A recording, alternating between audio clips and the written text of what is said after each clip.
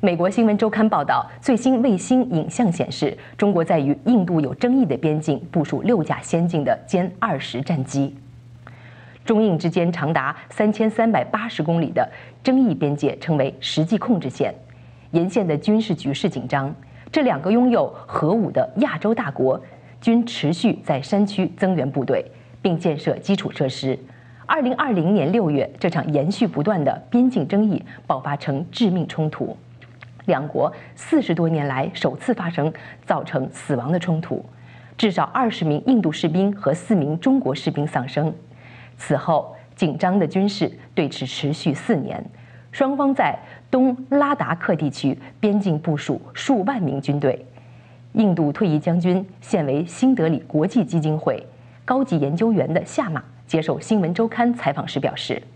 在日喀则部署测试第五代歼二零影踪战机，战机备程射程超过了三百公里的飞弹下，大幅升高了印度的威胁。